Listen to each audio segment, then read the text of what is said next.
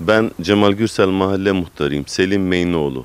Dört dönemdir bu mahalle muhtarlığını yapmaktayım. Ee, mahallemizin e, birçok eksiği var ama bu eksikleri peyderpey inşallah Büyükşehir Belediye'mizle, e, Samandağ Belediyesi ile el birliğiyle e, yapacağız, tamamlayacağız. Özellikle e, ilk etapta bu yollarımızın yapılmasını talep ettik. Ediyorum. Yakın ilgilerinden dolayı e, işlerinde de başarılar diliyorum. Mahallem halkı adına, cemaatim adına da sonsuz teşekkürlerimi sunuyorum.